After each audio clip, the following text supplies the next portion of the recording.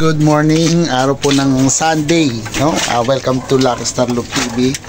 Of course, inimbitahan ko kayong ah, ah, mag-join, no? At ah, maglaro sa MLPHA. Hindi po ganun kalaki ang papremyo, pero ah, no re-entry po, po. No re-entry fee po siya, no? Pagdating po ng derby, no? So, sayang bird po yan guys, no? So, guaranteed 7.5k, no? At uh, sana uh, kung makakasali kayo, kayo po ang pala rin. So, ngayon nandito po ako sa aking uh, mga kalapati, of course. No? So, lipat po ngayon ng uh, pasakaw. No? Uh, kailangan wala akong makawalang ibon. So, kinuha ko. Tinan nyo guys kapag ang uh, kalapate no parang sawa sila sa pagkain hindi po sila nakain. Kaya yun ang nagiging problema. Namimili po sila ng pagkain. So magastos po yun no? Unlike talaga na kapag uh, gutom sila no? Yan eh ubos po yan no? so sa madaling salita ah uh, yan, ibabalik ko po dito sa kainan ko. Para wala pong sayang, no? Kasi ang mahal po ng uh, patuka ngayon. Tapos, uh, ganun lang, no? Buti na lang, wala tayong mga, mga uh, classmate. Yung mga uh, the girls, no? So, nakalimutan ko rin isarado yung mga kulungan ko. So, guys, kagahapon, uh, yung uh, pusa na naman ng aking uh, pamangkin nandito pa si Mel Windbreaker no kasi nga tinignan niya ibon niya uh, hindi po lumilipad no? Ah hindi lumilipad hindi po hindi pa siya nag uh, uh, so matagal na. So ngayon nagdala po siya ng ito breeder mix no? So kasi nga yung ginagamit ko guys na patuka Enertone no So si ang Enerton kasi hindi naman talaga naka-design para sa uh, pagbi-breed no. So less protein po siya. No? Uh, unlike sa mga beans talaga eh talagang uh, maganda yan para sa mga breeder. Kaso nga lang minsan guys kasi nga uh, hindi naman ganun kalaki yung budget natin no sa ating mga kalapate no. So alas 7 po ng umaga ngayong Sunday magkakabit po rin ako ng ring no ng aking alagang kalapate. So siguro uh, nirelease na po yung ating mga kalapate. So titingnan natin kung ano yung uh, yung uh, dati na ng ibon. So inspected ko kasi hindi mag speed yung ibon ko ng mga 1 siguro 1,000 ganyan 800 masaya na po ako dun guys no? So wala pa akong linis-linis. Meron po kasi akong uh, ayan yung uh, na kapag uh, ako po ay naglalaro eh pag niload ko po yung kalapati hindi po ako naglilinis. So hintayin ko muna silang dumating at saka ako uh, maglilinis ng uh, kulungan no? so wala nakaugalian ko lang yung uh, parang sabi nila pamahiin. So may paniniwala rin kasi ako na kung ano yung inalisan ng kalapate yun din po yung uh, dapat nilang balikan no So, bakit? Anong problema? Anong problema, Chong? Itlog ka? Ako, may itlog na naman siya. So, hindi ka na. Last na yan. So, ang sipag talaga, oh. O, tingnan natin yung katawan. Hindi ka na naman nagsubo, ah. Tamad siya magsubo. Pagka tinamad magsubo to. Ako na magsusubo nito. Naku. Nahihirap ito po yung inakain, ano.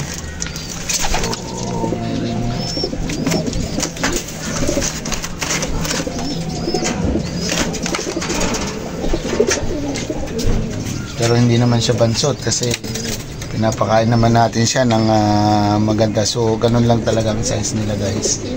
No? Uh, ano pa ba? No? so mamaya no? Siguro mga dati alas 10 pa mga 10.30 pasakaw no? Kamsur no hope sana may makauwi sa kalapati natin. Mas maganda kung makukumpleto po sila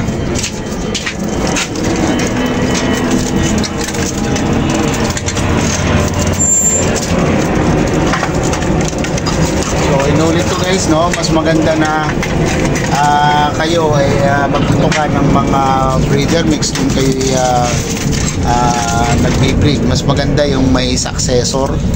Kung meron pa, hindi po kasi na hindi na po ako kasi nakakapunta sa mga ano ah, dito.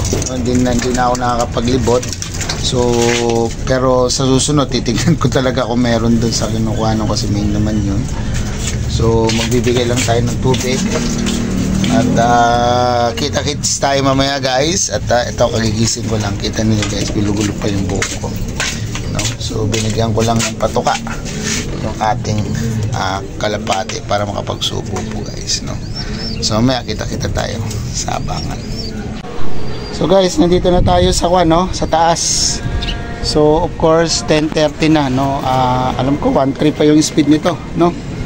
So as usual, prepare tayo ng ating ah, ah, tubig, yung tubig nila na inumin, no.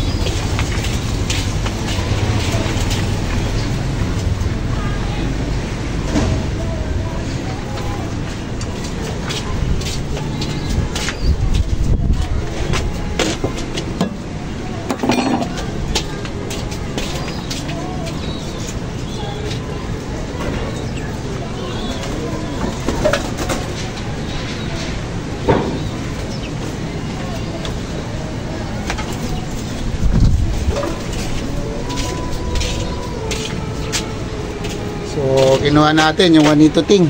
No? Yung Juanito Ting kinuha ko. Ayan. Ililipat natin dito sa kabilang bulungan. no?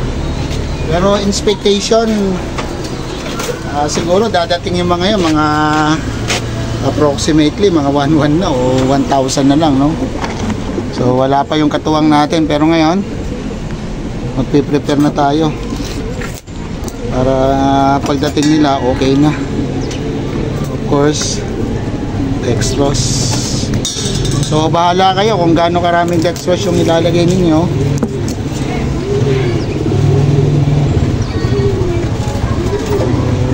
Honey.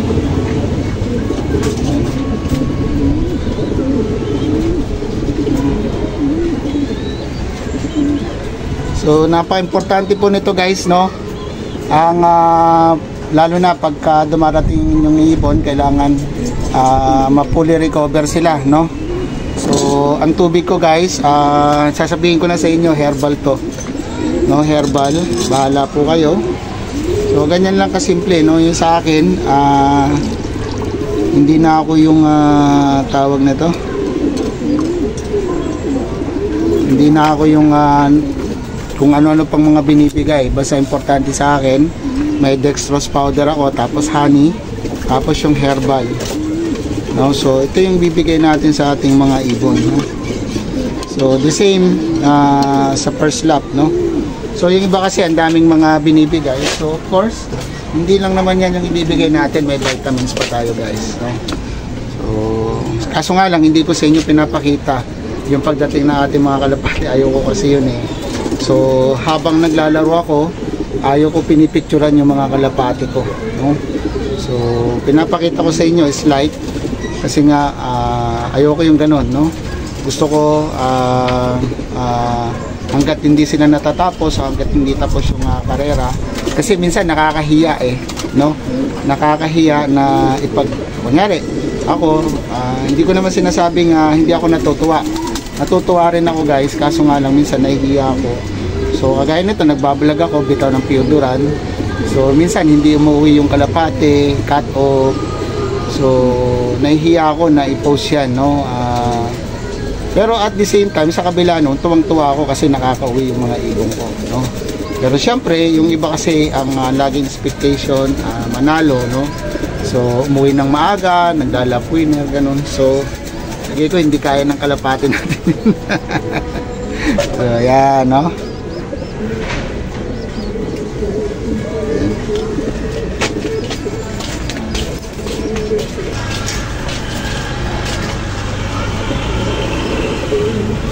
Mm. Pa.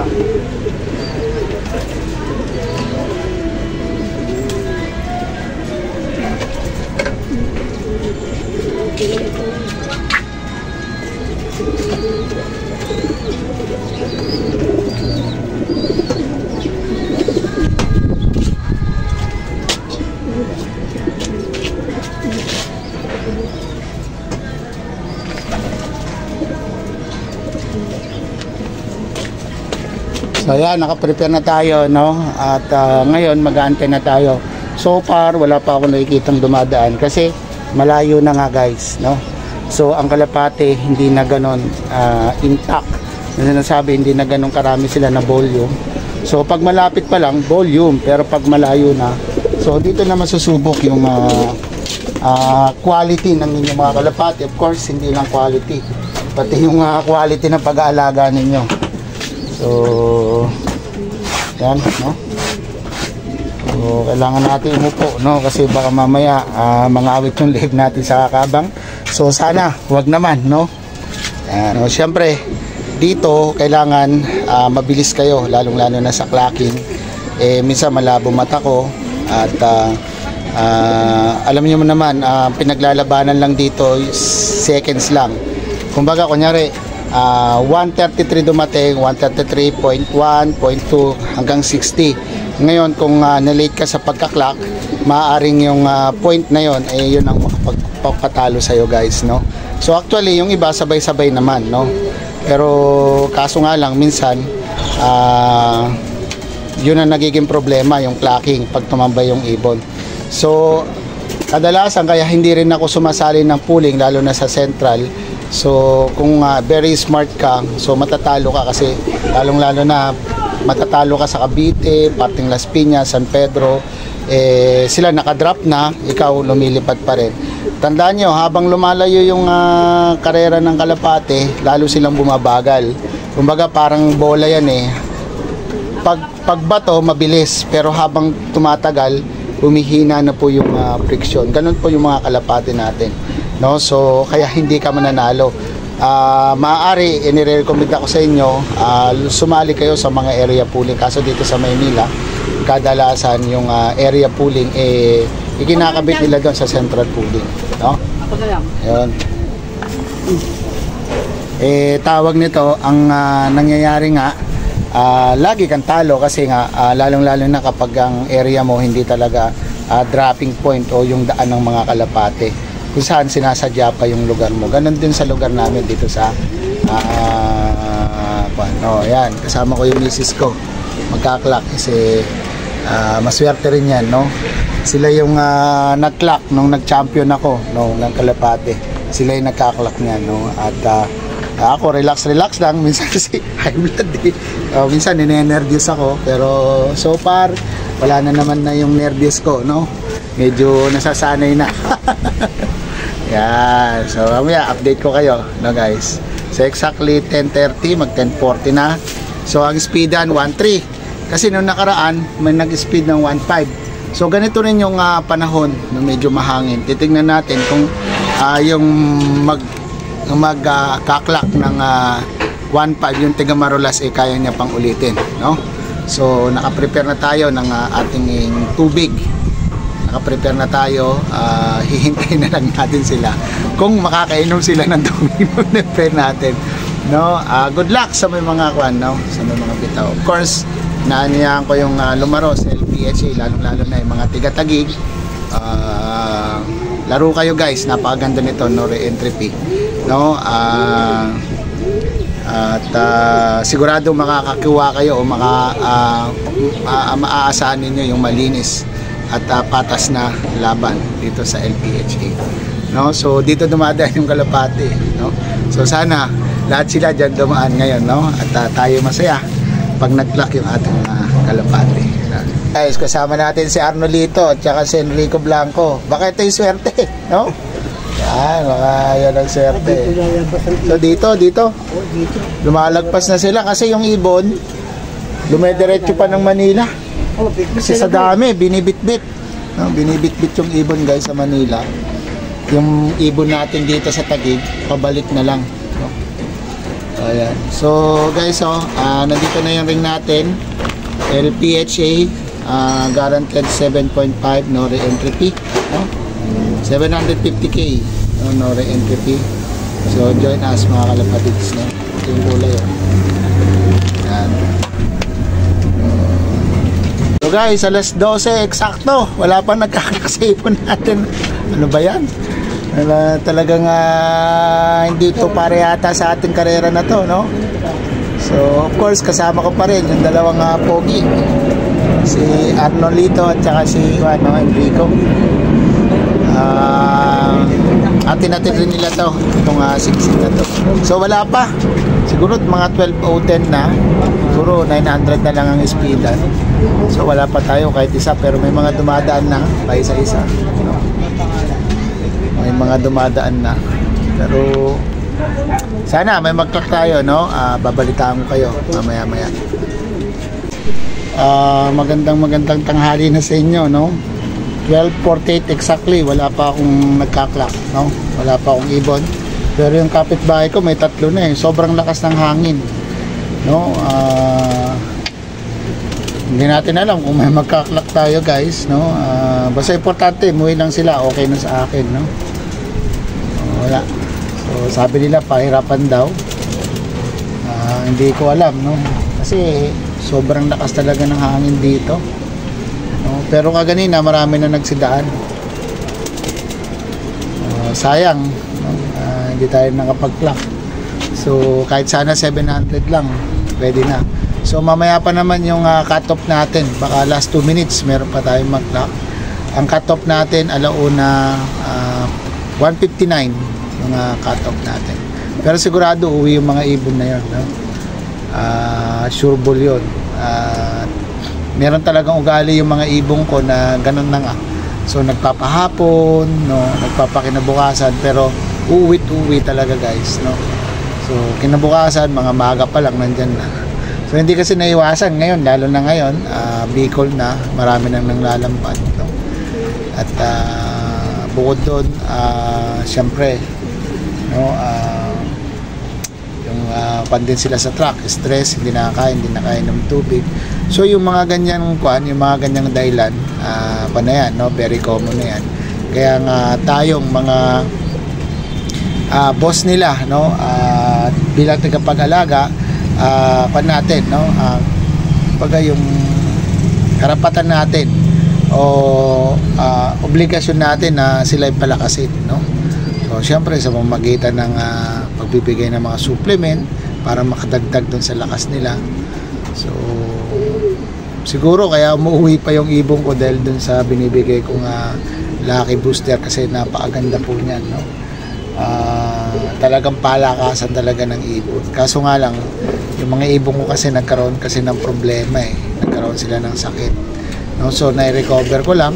So, pero nung nagte-training pa lang tayo, talagang uh, tinatamaan na sila kaya medyo masakit din talaga sa ulo. Hope na tumagal yung laban natin. No? So, babalitaan ko kayo mamaya kung uh, meron naman lang tayo nag-clock kahit isang ibon lang. So, sana meron. Kaso, uh, wala pa nga. Uh, tingnan natin. No? Ayun. Uh, gutom na gutom na ako. Hindi ako makakain. Kasi nga, syempre, uh, inihintay ko, eh, wala rin naman akong kapalit dito. Yung inaasahan ko na magbabantay ng uh, kasama ko na magbabantay ng ibon, eh, wala. Uh, nandito kagani na si Narnolito, kaso nga lang, syempre, gutom na yung mga yon. Uh, uwi na, kakain na. No? So, kain muna siguro ako saglit. No, kakain muna ako saglit at uh, babalik ulit agad ako. So, ito yung ibon, no? Koor, ito yung ibon. So, ito yung ring niya. FPR 2023 10 541, no? So, kita ba? Tapos, ito yung combine, no? Mactown. Yan o. 001. Yan.